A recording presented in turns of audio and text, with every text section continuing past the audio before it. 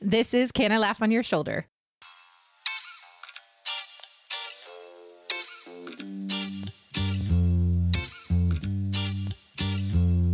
Hey, welcome to Can I Laugh on Your Shoulder?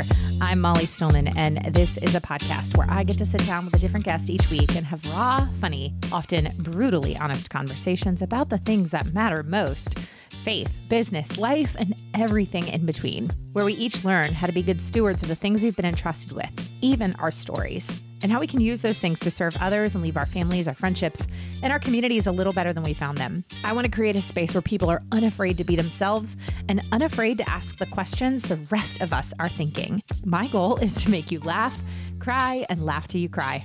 Well, guys, I am still a little bit on vacation this week, but I'm bringing to you another replay. For those of you that have joined the podcast in the past couple of years, you for sure have not heard this episode, but it is one of my all time favorite episodes. And it really is quite funny because it aired just about exactly three years ago this week. And it is my conversation with Neal Harmon, who at the time was the CEO of VidAngel which is now known as Angel Studios. He is still the CEO of Angel Studios. He's the co founder of Angel Studios. And if you're like, I think I recognize that name, Angel Studios, you do because it is the production company that produces shows like The Chosen and also was the production company behind the incredible movie that came out in July called Sound of Freedom. It is crazy to see how far VidAngel slash Angel Studios has come in three years since this episode first aired.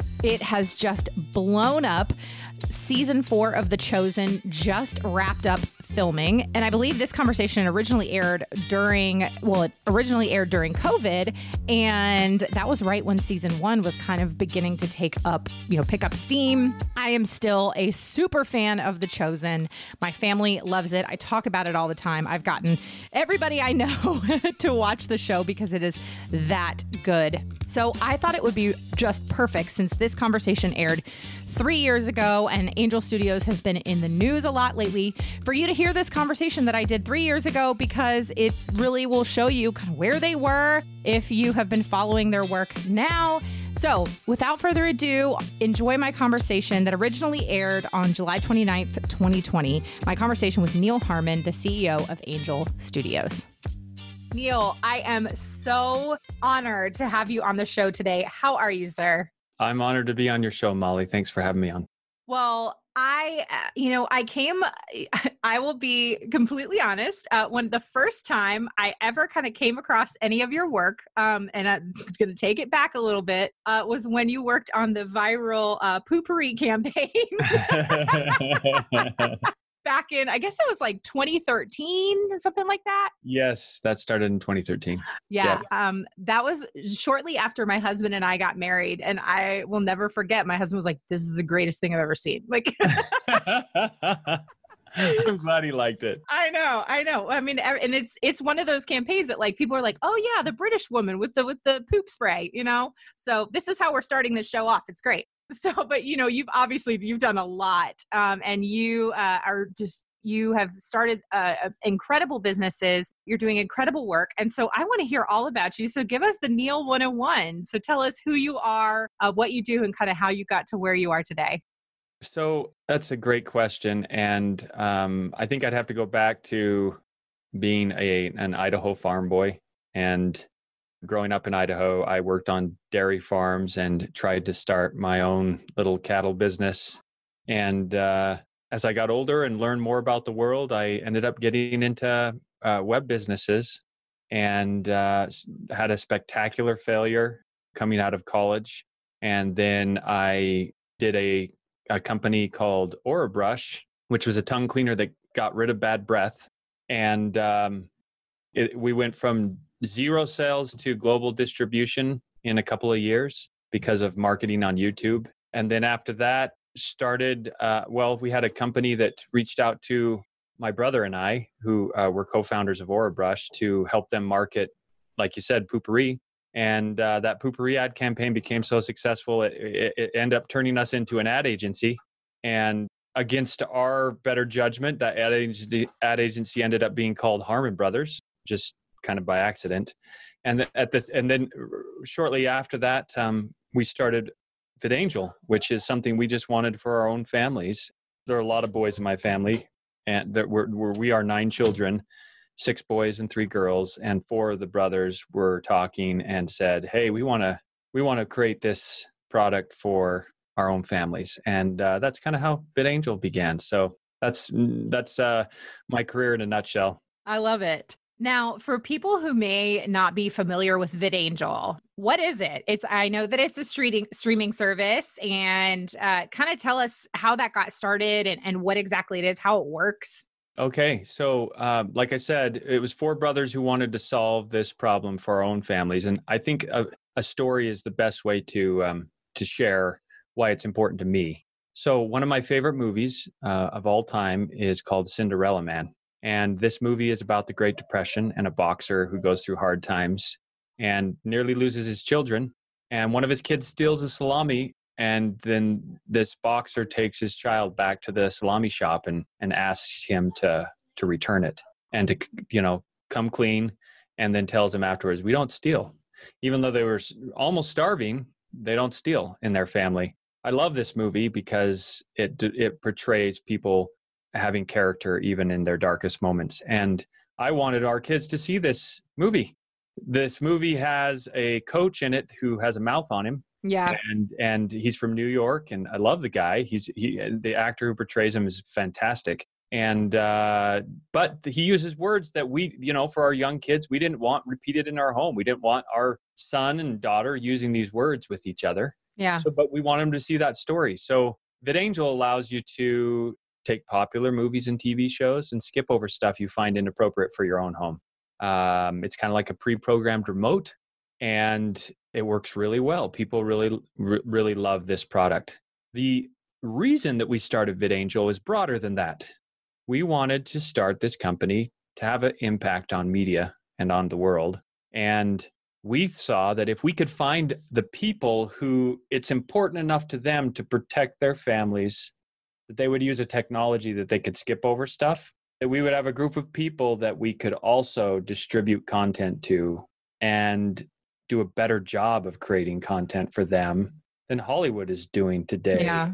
Yeah. So that's that's uh it's kind of the genesis of what VidAngel does and what we want to achieve as a company. So I love I love that and I love that it all started because it was something that you just wanted for your own families and then you figured, "Hey, if this is something that our family wants, there's probably other families that want this too. And I definitely echo that. I mean, my kids are six and four, and well, my daughter's almost seven. And, uh, you know, something that we have uh, instituted during quarantine actually has been family movie nights on yeah. Sunday nights. And my husband and I, you know, we've we've watched all the, you know, all the hits, but then we've started to want to go back and kind of show our kids the movies we loved as a kid and and it's funny because now, as a parent, and I'm looking at some of the movies I watched as a kid, and I'm like, why was I allowed to watch that? Like, this is, I don't think this was actually okay for me to watch. Like, one of my favorite movies of all time is the movie Airplane. I love Airplane. It's the funniest movie. I watched that movie when I was like eight, and I'm yeah. thinking, like, I'm like, it is definitely not appropriate for an eight year old. I mean, it doesn't have the F word, but I mean, it has definitely some really questionable content. Yes. watching it at eight. And I'm thinking to myself, like, there's no way I would let my kids watch Airplane right now. Right. And, but it's, it's, my kids ask me about it because they know it's my favorite movie. And my husband and I quote it. And, you know, and then even movies like The Goonies, like The Goonies, yes. the classic there's so much language in the Goonies. And I had no idea. And I I don't know if we were just oblivious as kids. I don't know. But so that's definitely been something that my husband and I have had conversations about it. Like, at what age are we comfortable like letting them see the Goonies? Or like at what age can we really begin to introduce movies that might have some language and be able to have conversations. I'm like, I don't want to have that conversation yet with my four year old. And so there definitely have been times where I'm like, man, I just wish that there was like a clean version of this movie. And then you have a service uh, like VidAngel. So I just I I love that that the greater mission too is just that you wanted to have you know a positive impact on media and the world, and you know even as like quote unquote you know the inappropriate parts of Airplane, it's still like you don't see movies like Airplane get made today. Like that's like clean compared to what a lot of the media is yeah. is getting made today. Yeah, our society has changed so much and we think at VidAngel we think it's due to a broken feedback loop in Hollywood. Mm, mm. So um, the the creators in Hollywood love to see who wins the Oscars. Uh, they want they love to see who wins the awards, and so they come back every year and see who wins the awards, pat each other on the back, but they're essentially making movies for each other. And as a result, what we have happen is is that about three fourths of the revenue in the box office comes from the family friendly movies, but Hollywood's making more than half of their titles um, rated R. And so they're not really listening to what the audience is saying to them. And uh, we feel like VidAngel bridges this gap where it gives creators a feedback loop where they listen to what the audience is truly wanting. And if the audience skips over a scene inside of Airplane or a scene inside of Goonies or, or language inside of Goonies, they can learn, oh, wait a second, maybe I don't need to use the F word so many times in my film because it actually affects my market. And I'm listening to the audience rather than listening to my peers in the Grammys. That's kind of what we think is is the problem. That is fascinating. And I, I honestly, I think until you articulated it that way, I think that's just the best way I've ever heard it said is that it, the broken feedback loop. And, eh, it, you know, it's interesting that every year, I mean, I don't really watch the Oscars anymore, but I, I'm always curious as to who wins what. And my husband and I were talking, I guess it was either this year or last year, where I was like, I have not heard of any of these movies. Like, when did these movies come out? Like, all these movies that are winning all the awards. And I'm like, I'll be honest, like, the only ones I've seen this year are like Toy Story and uh, Frozen, because I have a six and a four year old. So, like, that's what we've seen. Um, but the, you know, the reality is, is like, you know, all these movies that keep getting made, you're right. It's like they're all just getting kind of made for themselves. And I'm not saying that there's not great movies in some of those, but sure, um, sure. But it's just yeah, it's, it's, it's kind of like you know this the when they they put the speed limit sign in in the kindergarten zone or the next to the school. Uh, um, there were some people in California who were trying to figure out how to get people to slow down near school zones. And they try speed traps, they try blinking lights, they try bigger signs. None of these things worked people were just ignoring that feedback. But as soon as they put up a sign that said here's here's the speed limit and then they put up another sign that said here's how fast you're going they saw the speed limits go down or people drop over 10% and it was because they they had immediate feedback. They could see what was happening and uh, that's what we feel like's missing in the system is is that feedback loop where they listen to the audience and because the big studios own the distribution channels they can mm-hmm. kind of just fill those distribution channels with what they choose but the beautiful thing about the internet is it provides an opportunity for those of us who don't have a voice in the big distribution channels to uh, have a voice um, for ourselves and, and create content for ourselves which I know you want to talk about The Chosen today, and yeah. I think that's a great example of that. Yeah, absolutely. Oh, I definitely want to talk about The Chosen.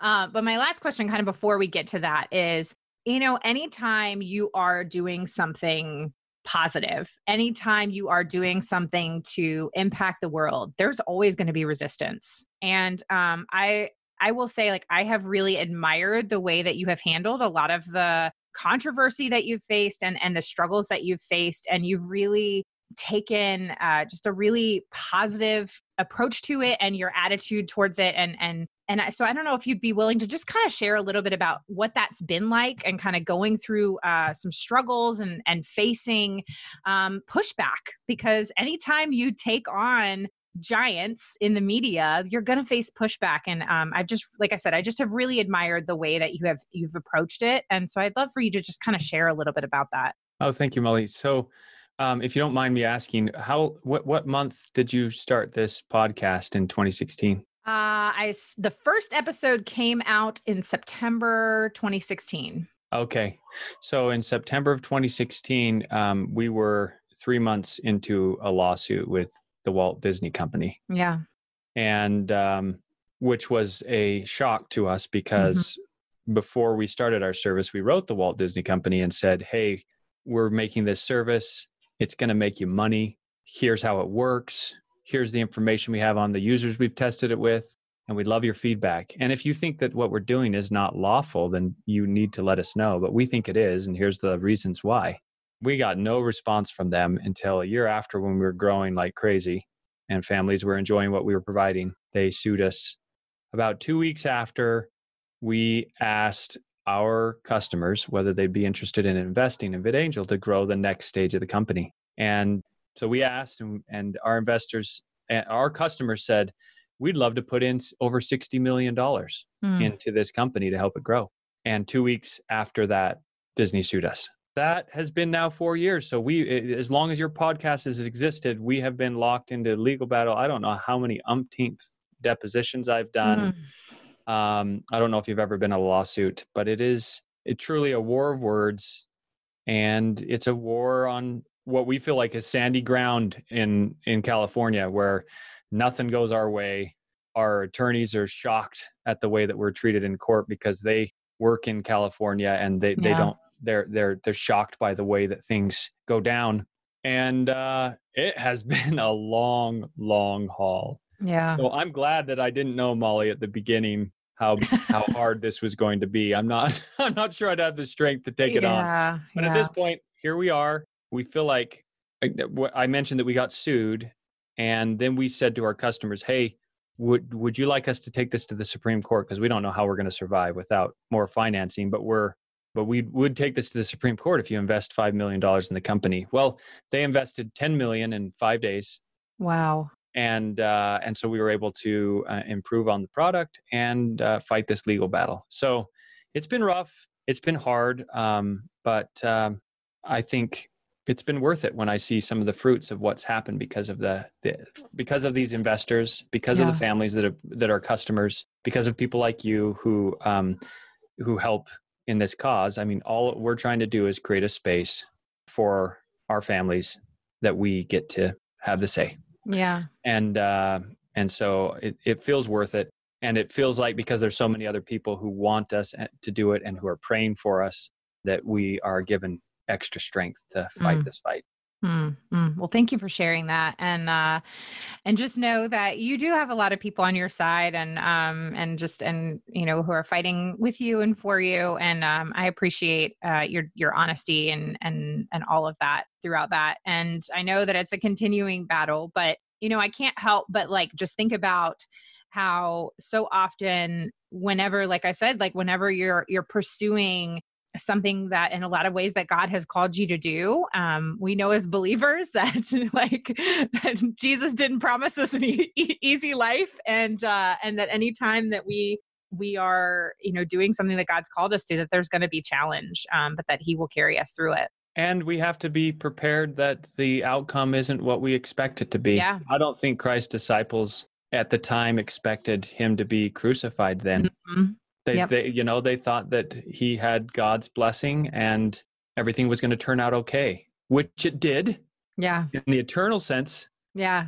But I don't, I, I think that must have been extremely hard on him. And so that's one of the hard things here is that I'm like, I don't know that this is going to be a happy ending. I mean, right now we had a ruling in the California courts that we have to pay 62 million. That's an interesting number given that's what the customers wanted to invest. Hmm. But uh, we have to pay a 62 million dollar bill and um, our company's growing enough that uh, we propose to pay it off in the court. Yeah. And then have the right to appeal that ruling. And guess what disney did? They said no we'll go ahead and lower the bill by 50 million dollars but you don't have the right to appeal. You can't challenge this ruling. Huh. you can't filter or skip over our stuff without our permission. And um, I don't know how this is going to turn out, Molly. I hope it has a happy ending for you and for me, but um, yeah. it might just be one of those battles that um, has an an eternal win rather than, yeah. than the one yeah. here. Yeah, yeah. Oh goodness, it's kind of like um, and I don't remember off the top of my head what uh what particular verse it is but there's a, a, a, verse in the new testament where that just kind of alludes to this this idea of the meantime and that there's this this this sense of sometimes you're kind of in the meantime you're in the midst of it and you don't know what the end result is going to be and and it's just you're in the meantime right now and you're just you know, you're just kind of continuing to row that boat. and, and uh, I think that actually kind of leads me perfectly to when I think about the boat, I think about the miracle of the loaves and the fish, and I think about the chosen. And uh, for those that that don't have not heard of the chosen, uh, the chosen is VidAngel's first uh, original series, and it is uh, going to be a multi-season series, and it is based on the Gospels, and it's kind of come from comes from the perspective of the disciples. Um, and it's about the life of Jesus. And uh, the first season is currently out, it's eight episodes. And there's a couple really unique things about this. Not only is it, you know, available, it's a it's a VidAngel original. It is the highest grossing uh, crowd funded media project of all time, which is yes unbelievable. So, I mean, it's an entire production that has been funded by people and it's just it's just amazing to me and um my husband and I, I said this before we started recording. We we binged Jesus uh, a few weeks ago, and I I don't honestly even know how I had first come across it or heard about it. I don't know if somebody had mentioned it, but I was like, hey, this is interesting, and I thought it was also a really unique way to view it because basically you download an app and you watch it through the app, but then you can like stream it onto your Apple TV or your Roku, or I mean, I you think you can even watch it on YouTube. So it's just a really unique way of consuming the content. And so I said, I, I want to check this out. And I was blown away. And I remember I cry every episode. I can't stop talking about it. It's just one of the best things I've ever seen. And so I would love for you, because you've kind of been involved in the process of The Chosen since the beginning. So yes. kind of share how you got involved with it and where this whole idea even came from. Yeah, so I, I first want to address, um, you, you know, many people don't get around to. I, I've, I've I have friends I've been trying to get to watch The Chosen for over a year because it came out in November, but I had early cuts of it um, during the pre-release uh, season, and uh, I can't get people to watch it because they're like, not another show about Jesus or not another show about the Bible. This is going to be dull and boring. Mm-hmm. Um, so this is our first scripted series our first original series was called it's called dry bar and it does a, over a billion views a year. And it's a stand-up comedy series. When we did that stand-up comedy series and we were able to outperform all the other studios in the digital space we learned that if we take the data from people's skip choices that they will be that they that will create a bigger market because the comedians will read that data. They'll say oh i'm going to take this out of my act or i'm going to i'm going to adjust my act so i can make more money and that's what they're doing and it was a bigger market. It grew it like i said it's over a billion views a year. And we said okay now let's see what we want to do a real tv series now something that's more expensive. What are we going to do? And uh, a friend of ours introduced us to uh, a little uh, short film made by dallas jenkins. And um, my brother who's in charge of uh, content at vidangel uh, Jeffrey, he sh- shared this short with me, and he says, "This is a show about the birth of Christ, and I I think we should consider doing this for our, you know, our first scripted series." And I said, "No, we're not going to do a show about the basically the same response that I get from my friends. We're not going to do another show about the Bible. That's not our job. we're an entertainment company. That's the job of a church." You know, churches are that's their mission is to go and, and preach the gospel and uh, it's not you know that shouldn't be for a for-profit company. Anyway he just said just go ahead and watch it. And i went and put on my headphones and i watched this short. And the entire office everyone around me just disappeared. And i was there for the birth of christ through the eyes of that shepherd. And because i grew up in idaho and i grew up farming animals i like it hit me on a level that i was not expecting. And and when i jeffrey looked at me after I took off my headphones. And I looked at him. I'm sure I had tears in my eyes. He, he and I said, I I think this is the reason we created VidAngel is to get behind a project like wow. this. And uh, I finally saw it. And what's exciting is is that I think everybody that watches it is going through that same moment where they're just like, I never knew I needed this. I didn't know that the world needed this. Mm-hmm. Oh, but how the world needs this. Ugh. And um, and that's what the chosen is. And I think the reason that the chosen has so much of just a good spirit about it is because I think that a lot of the people who are making it and the distributor who is getting behind it are going through similar trials and facing similar situations into modern society as what the disciples of Christ faced mm. then. I, I would never compare ourselves to the disciples of Christ, but back then and what they went through, I mean, they were they were martyred for mm-hmm. for the cause. You know, we're just we're in a war of words, but at least we don't have to be hanged or yeah. whatnot for what we're doing. But that said, there's a special spirit about it because everybody's fighting so hard to create this, and they want their voice to be represented in in modern media, and and not just not just to be affirmed, mm-hmm. But to actually just be taken into a story, and the story to be powerfully written, and to be compelling, and the right timing, and the camera work to be done well, and the production value to be good. Yes, we need that. Yes. We need that. And now people see that we need that and they and they're experiencing it. And we have a lot more exciting things coming. Not only just seasons uh, two through and on on the chosen, but this has awakened in a lot of people a desire to change to change media. Mm-hmm. And uh, and and we are so excited about the future, Molly. Oh, thank you for sharing all of that with me. Um, and I can just say, as as a fan of the show and a fan of of the work, I wholeheartedly agree. I mean, I think I remember when I first came across it, I was like, oh, I, I think I had that same feeling where I was like, not another show about Jesus. Like, and and let's be honest, like a lot of quote unquote like Christian media that gets made today is cheesy.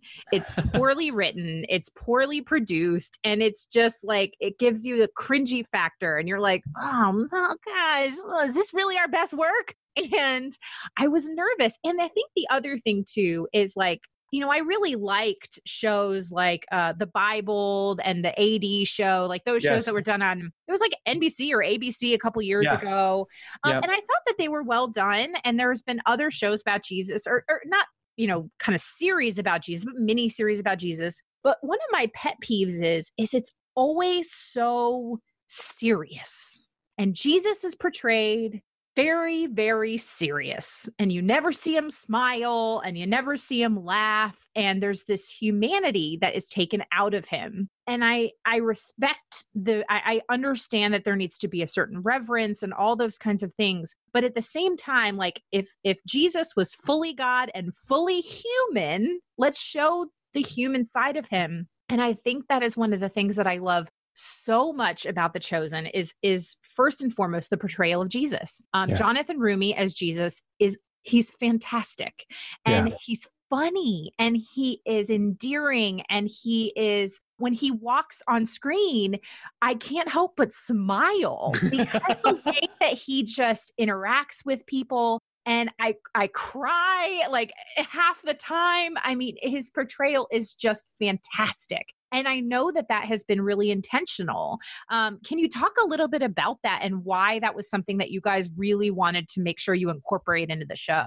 So, Dallas, the director of The Chosen and creator of The Chosen, and Jonathan Roumie have a history of working together for a number of years. Oh, wow. And so, when when we heard when we decided we were going to get behind this project and helped uh, the chosen raise over 11 million dollars from over 19,000 people. Dallas said to us, we started suggesting to him, you know, different contacts were sending us really famous people to play Jesus or whatnot. And Dallas said, no, I know who's going to be Jesus. I just want you to watch a few clips. And, and I did. And I thought, yeah, I think because there's this really famous name. There was a, a billionaire who said, Hey, I've got contact with a really famous name who can play Jesus. And I was kind of excited to hear that. And I thought, oh, cool. This would really, you know, get lend credence to the show. And then Dallas showed me the character he, the the the actor he had in mind, Jonathan Roumie, and I watched that, and suddenly I was the thought of this super famous actor. I mean, I'm not going to say a name, super famous. The thought of him being Jesus suddenly became like it made my stomach churn after seeing Jonathan Roumie's portrayal and and understanding what kind of a person he was. Yeah and uh, and so there was no going back at that point and i was so excited about it but here's the moment for me molly is i took my whole family down to the set in in texas to participate in the filming of the wedding at cana and if if you want to see our cameo there's a a moment where Jesus is playing with the children Yeah. with the with the with the at the at the table yeah. and um those uh, except for one of them are our kids oh, that's and- awesome. yeah so we uh the the one who looks the most like she could be from israel. She was four or five at the time. I think she was four. Anyway we had the the night the shoots were all night long.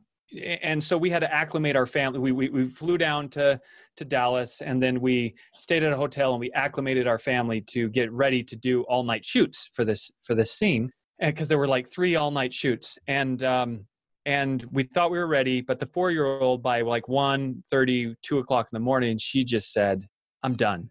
I'm i want to go home. I don't want to be here anymore. I'm done. I take me home take me home. And she just started screaming. Yeah. and uh and my wife was trying to get her to calm down. And then they right at that moment they say it's time. It's time for the kids to do their scene. And there was no way it's like she was she was the one that they needed you know she had dark hair she has more olive skin and uh they there was no way she was going. So i go and i try to talk to her. I can't convince her to go onto the set. So jonathan comes out and he learns that she's struggling. And uh, he comes out and starts talking to her and she doesn't even know who he is. He starts talking to her and then he kind of as he's talking to her brings her onto the set without her realizing that it's happening. And then he starts playing the game and they were rolling cameras and she didn't um you, you, you, they did the little thing where they hide the the peas and they moved the little cups and and at the very end all the kids were like i know where it is i know where it is and then and then jonathan says just a moment we need to hear from i won't say her name just for her own uh, privacy Yeah. but uh let's call her um elizabeth um Uh-huh. so let we we need to we need to hear from beth and my daughters he said what do you think beth?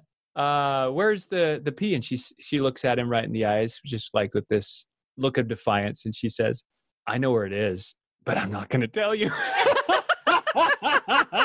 and jonathan just starts laughing and he's just like oh and so i'm not gonna i'm not gonna catch a break. You don't even know who, who i'm playing. Anyway it was just this great moment and she was had changed and she no longer was sad and she was playing and she was having this marvelous time. Anyway when we got done and we left my wife and i looked at each other and we just said you know what?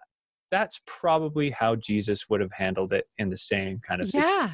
so Absolutely. Absolutely. I mean, there's just so many um just fantastic moments in the show where you just I mean, one another person I just think there's a couple portrayals in particular that I just think are fantastic. Um I hope I'm saying his name right, but Shahar Isaac. Shahar, Um, who- yes Shahar, yeah, Shahar he was, Isaac who he was born in nazareth Yeah, I mean, he his portrayal of Simon Peter is fantastic. And even my husband, he's like, that's exactly how I picture Peter. It's just like ready to go at all times, like a little bit combative, just like amped uh, every moment. Like that is Shahar Isaac's portrayal, and it's fantastic. I mean, I love there's an exchange uh, for people who haven't seen the show. There's this particular exchange between Jesus and, and, and Simon, and uh, where he says, you know, something about like, don't you know what I'm thinking? And Jesus says, like, everybody knows what you're thinking. It doesn't take like it doesn't take God's wisdom to know that. And it's just like his sense of humor as Jesus is fantastic. Um, and then additional, uh, uh, uh, Paras Patel as Matthew is yes just oh he's fantastic. His portrayal of, as matthew is so good. And you know another thing that i really love about the show because people say like well is the show biblical? And obviously yes like you know you're taking stories like real stories from scripture and, and you're putting them on the screen. But you know we all we all know that the bible gives us just really the highlights. That's and right. give us the backstory. It doesn't give us as much of the kind of filler content. Like, and I love the way that The Chosen has really given you a sense of who were these people before they met Jesus? And so you Yes. see Mary Magdalene and you get the flashbacks of her as a child and then um, the demons that she's facing as an adult and and her first meeting of Jesus. And then and then you see like I think the the whole approach of of uh, you know Simon, Peter, i- and Andrew are in trouble with with the tax with the Romans and the taxes, and you know so it makes the scene with the fish in the boat that much more meaningful because of of where they were financially at that point. And then you see uh, kind of how matthew eh, you know how he gets to the point of where he's following jesus. And then you're even briefly introduced to thomas. And i love that thomas is even kind of just doubtful of everything no matter what. Like it's just um you know so you you get this sense of who these people were as people. Um and it's beautifully done. Oh oh oh goodness. Oh i cannot help but mention too, but um, Peter and then seeing his wife Eden. Oh yes, understanding that he was married and then seeing his his mother in law and what that must have been like for him as a husband to to have to make the decision to sacrifice parts of his family in order to follow Christ. And it's just amazing. And so I, I would love for you to just kind of share, if you can, um, you know, what has kind of gone into that process of um, obviously through a lot of prayer, time spent in the Word, and and also looking at historical context, um, who these people were historically, and and looking at you know how do you kind of come up with the content to make those decisions to make those people who they are? Yeah it's, a, it's such a fantastic question and one of one of my uh, one of our family's favorite things to do when we watched season one of the chosen was to go back to the new testament mm-hmm, yeah and try to pick out what was creative license and what wasn't mm-hmm. and it was shocking for us how many times we thought Dallas and the the writers were taking creative license, but it was actually in the scriptures, right? Yeah. I mean, uh, they've really, really done a good job of uh, making this coordinate with the scriptures and those backstories. What they're the, the standard they're looking for is that it's plausible, that mm-hmm. it doesn't contradict scripture, yeah, and that it's plausible. But the goal is to make it so we can relate to it. Yeah, that we can see these stories through our own experiences and the things that we struggle with. Mm-hmm. And oh, I better not talk about that. I'm going to get emotional. But I, um, there's a note um, that we recently got from somebody who that morning was on the verge of um, committing suicide, and um, they happened to come across the chosen right before their that moment, and uh, watched episode one. And when they saw when they saw someone be that close to mm-hmm. uh, taking their own life on this show, they change their mind right there. And that's the, I mean, that's the kind of stuff where these characters become very real that we suddenly understand that Jesus is relevant to our lives and he is a solution.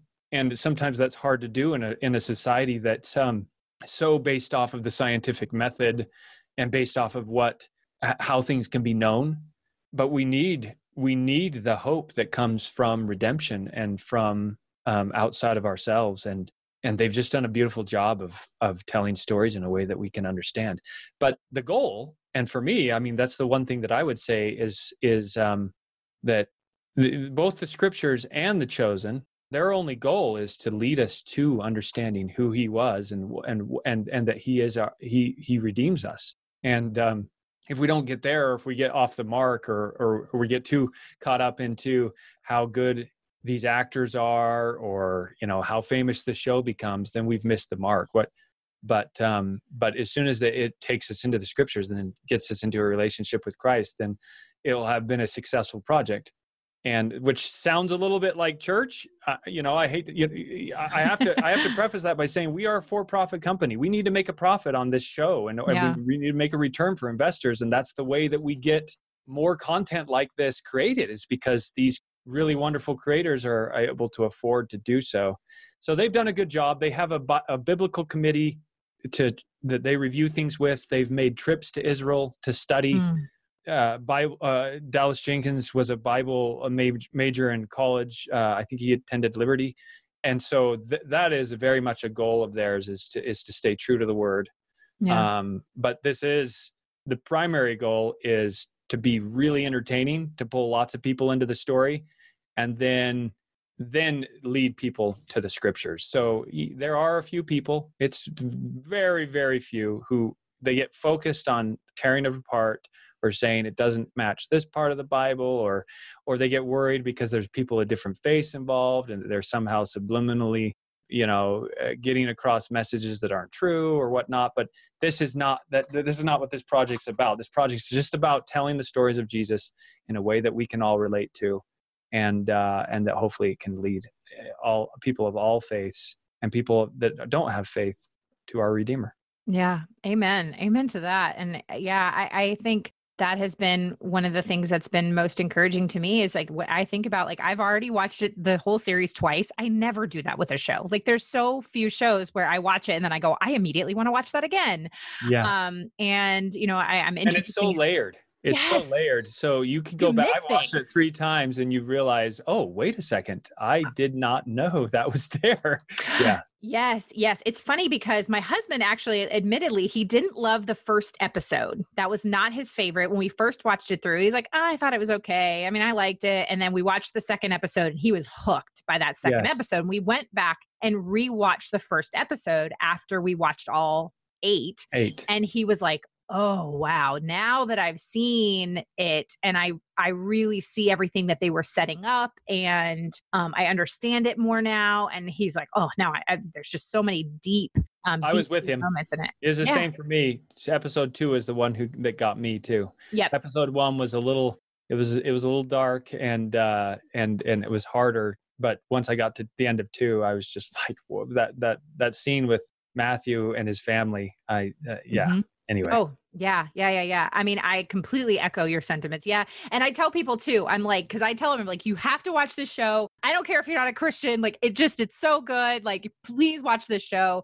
Um, and I say, and make sure you watch episode two. Like, just get through episode one. Not that episode one is bad, but it is yes. definitely of the eight. It's it a is, setup. It's, it's a, setup. a, setup. There's a lot going on yeah. there's a lot happening in episode yeah. one yeah. um and and yeah it's just again it's beautiful it is um and the other thing too that i've loved about it is it is something that i actually i feel comfortable showing to my kids I did not show episode one to my daughter. I feel like that would be a little bit too much for her. But um, we actually we sat down the other day because we were reading the story of the wedding at Cana, and I said, "Hey, do you want to watch this episode with me of the Chosen of the wedding at Cana?" And she loved it, and it was just so precious to watch her watch that episode and and even my son I remember at one point, like, uh, there was like a scene in that episode where they're stomping in the grapes, and my son's like, "I've never walked in grapes before."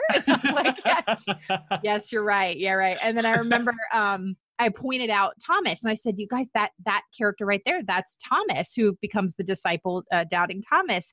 And my my son, my four year old, he's like, "I know Thomas, like from the choo choo trains, choo choo Thomas." like I don't know, different different one. Um, but in general, like you know, my my daughter, my almost seven year old, like she's had really great questions while watching it, and we've read a lot of these stories that to, for her to be able to see it kind of acted out it's bringing the bible to life for her as well. So it yes it's just we we, we were at the uh, the national religious broadcasters conference and um, we showed a pre-release of episodes episode one. And or maybe we showed a one through four i can't remember but we showed a pre-release. Yeah. And the guy who was doing the um the lighting and all the technical work told us afterwards, he said, I almost lost track of my job mm-hmm. because he says, I'm not a believer, but oh, I just stopped doing my job because I was so taken in by this story. And I hope that if there's anyone on your on on your podcast, Molly, who are are counting this out, they they, they need to watch the show just yeah. just because it is a very well done show. Oh, absolutely, absolutely. Um, it's yeah, the the acting is incredible.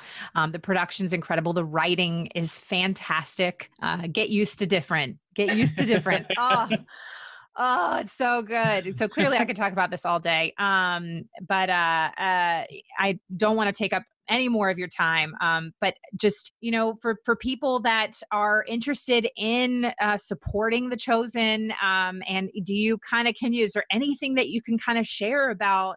Um, I know that with the coronavirus and everything, a lot of things were kind of put on hold. Is there anything that you can share about kind of what is on the horizon for the chosen? I better be careful.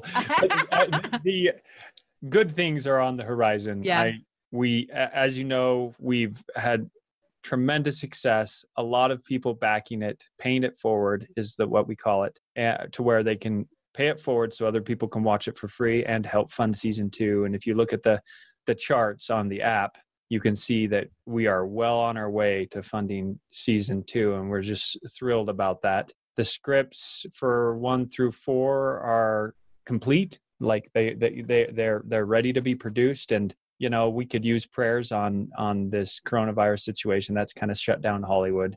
And as much as we say we're not part of hollywood we still need to film and we need to you know we need to have a place to film and people to be in close proximity with each other to, in order to film. And so we're hoping that that can happen this summer uh, you can watch VidAngel. You, you, know, your daughter who's four, she can watch Vid, uh, the the Chosen on VidAngel and skip that scene about the possession or whatnot if she if if that's the best for her. We we skip that scene for our own little kids because it's too scary for them. You can also download the Chosen app and you can watch the Chosen right now for free on either VidAngel or the Chosen app. So uh, download the app and give it a shot. And like Molly said, make sure you get through at least episode two before yeah before And- you decide to not go forward. Yeah, absolutely. And you will, I promise you, you will be hooked.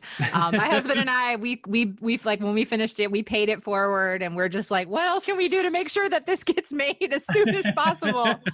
um, okay. Well, before we go, I just have a couple of fun get to know you questions. Uh, just to, to close out, this is one of my favorite parts of the show. So Neal, are you ready for the uh, get to know you round? Oh well, we'll see. I, Okay. I, I haven't heard it. This is gonna be fun. All right. If you had to eat the same meal for dinner every night for the rest of your life, what would it be? oh, that's a great question. So there's, uh, I don't know if people on this audience would uh, be familiar with it, but there's this. Um, uh, what do we call it? Anyway, it's quinoa with uh, avocado and tomato and lime and a little bit of, um, and then sunflower seeds and stuff on top of it.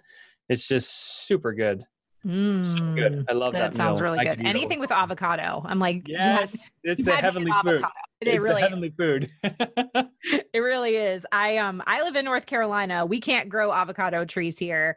Um, but I have been to um been on many trips to Kenya and some of my dear friends in Kenya, they just have these avocado trees that just are they have avocados at their like they can walk out their back door and just pick, like I, I'm gonna move to Kenya just so I can have an avocado tree in my I, backyard. I, ser- I, I served a mission in Mexico, and when I was there, I could buy a, an avocado that's bigger than anything you could ever buy at Costco for two pesos, which at the time was like 20 cents. yeah. And uh, you could just eat, like, they're Ah. so big that they are an entire meal on their own. And I, I was in heaven. Yes, the best, the best. Um, okay. What is a dream that you have yet to achieve?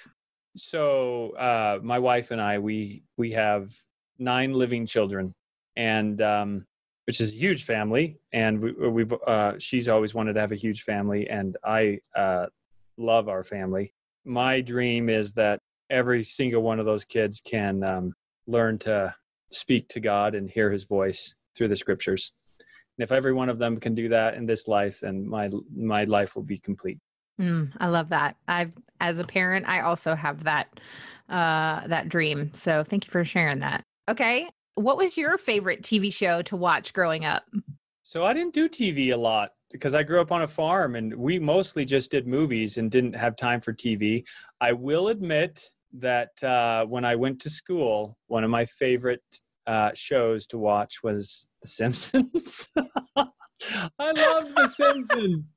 And, and, you and created VidAngel, and I wasn't allowed to watch The Simpsons growing up. I know I, I wasn't allowed to watch The Simpsons either. This is me leaving to school and uh, watching it on my own. But I love the the political satire, and there's Simpsons episodes that you know I had to I had I had to shut off. But I just the writing was so good on The Simpsons. I just I, I that was one of my you know my vices to come home from school and and uh, watch an episode of The Simpsons.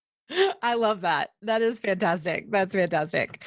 Um, okay, my last question, and this is the question I ask all my guests, and that is, uh, what does it mean to you to run a business with purpose? I think that it means that you find in your work meaning in what is greater than yourself or will live beyond what you do or what you say or how much money you make and it will have some kind of impact on the world uh, for good that you can be happy with and uh, not have regrets about Hmm, that's a great answer. Neal, this has been an absolute pleasure. And uh, I am just mine. I'm just cheering you on. And uh, I am anxiously awaiting season two of The Chosen. And also, I'm really excited to see other original content that VidAngel produces. And to if if the bar has been set by The Chosen, it's a pretty high bar. So we have some great stuff coming. I'm, yes. I'm, convinced. There are so many talented people. You made a little chiding remark about Christian projects, but when, when when when the uh, when the distribution channels locked out, so that yeah. you don't have the way you don't have the funds, then it is hard. But yeah. but w- the chosen is paving the way for for another form of distribution that will allow great stories that are of faith to be made at a high production level. So we're yeah. you and I are both super excited about it. Absolutely, absolutely. Thank you so much, Neal. Thank you, Molly. Okay, friend, I would love to know what you loved about this episode or maybe something that you learned. If you do, let me know on social media. You can find me at Still Being Molly or at Business with Purpose Podcast on Instagram or Facebook. And don't forget to use that hashtag Business with Purpose Podcast. Thank you so much for listening to this week's episode. If you are a first time listener of the show, welcome. Be sure to visit the archives for past shows featuring incredible entrepreneurs and business owners who are literally changing the world with their businesses. And if you are a regular listener of the show. Thank you so much for tuning in week in and week out, and thank you for your support. Be sure to head on over to iTunes, Spotify, Google Play, Radio Public, or wherever you listen to podcasts and click that subscribe button. Clicking that subscribe button helps to make sure you never miss a new episode of the show. And while you're there, would you just take a moment to leave a review for me? Leaving a review really just helps me to know what you're liking and how the show is personally impacting you. As always, this show is produced by the amazing team at Third Wheel Media. Thank you so much for listening and go do something good with purpose on purpose. Now go do something good with purpose on purpose.